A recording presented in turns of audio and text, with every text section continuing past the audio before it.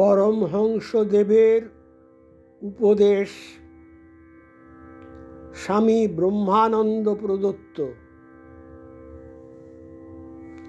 এক, মানুষ আপনাকে চিনতে পারলে ভগবানকে চিনতে পারে।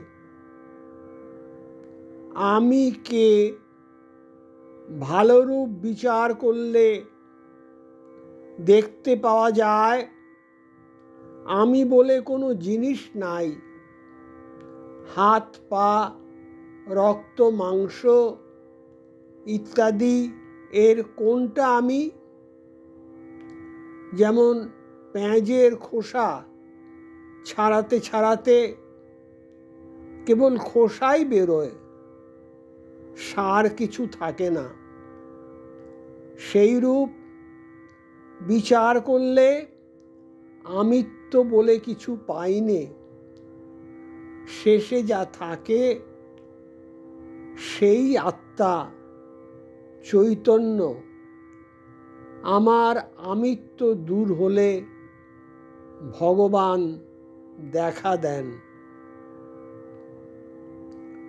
দুই, রত্না করে অনেক রত্ন আছে। তুমি এক ডুবে পেলে না বলে রত্নাকরকে রত্নহীন মনে করো না। সেই রূপ একটু সাধন ভজন করে ঈশ্বর দর্শন হলো না বলে হতাশ হও না। ধৈর্য ধরে সাধন করতে থাকো সময়ে ঈশ্বরের কৃপা তোমার উপর হইবে। তিন, তাঁর প্রতি কিরূপ মন চাই? যেমন সতীর পতিতে, কৃপণের ধনেতে, বিষয়ীর বিষয়ীতে, এইরূপ টান যখন ভগবানের প্রতি হয়,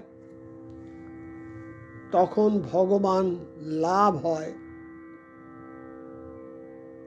চার, মৌমাছি যতক্ষণ ফুলের চারিদিকে গুনগুন করে, ততক্ষণ সে মধু পায় নাই। মধু পেলে আর সে গুনগুন করে না।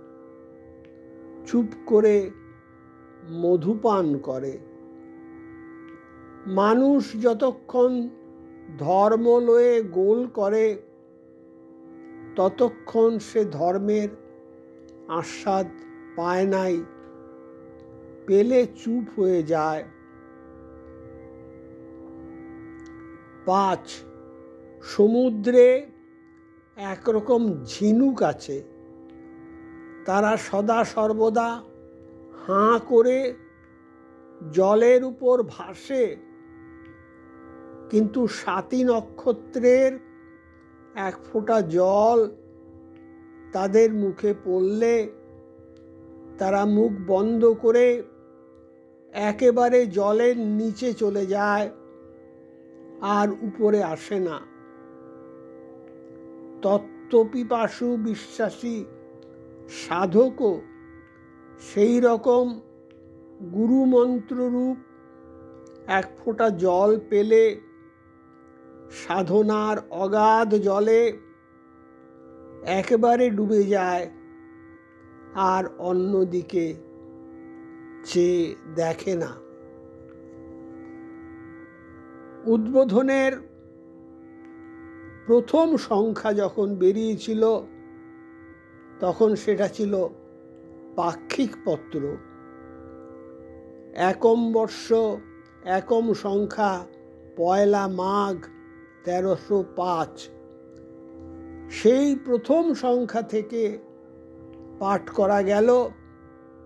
সেখানে স্বামী ব্রহ্মানন্দ প্রদত্ত পরমহংসদেবের অমূল্য উপাদ উপদেশ দেয়া আছে এই এক থেকে পাঁচ যা পাঠ করা গেল।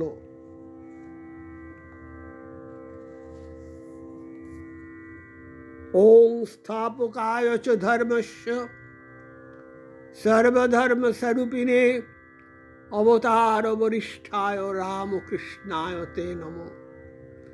যথাগ্নে দাহিকা শক্তি রামকৃষ্ণ স্থিতা হি যা সর্ববিদ্যা স্বরূপাং তাং শারদাং প্রণমাম্যহম নমশ্রী জ্যোতিরাজায় विवेकानंद सूरय सच्चित सुख स्वरूपाय शामिने तापोहारिने ओम श्री रामकृष्णार्पणमस्तु।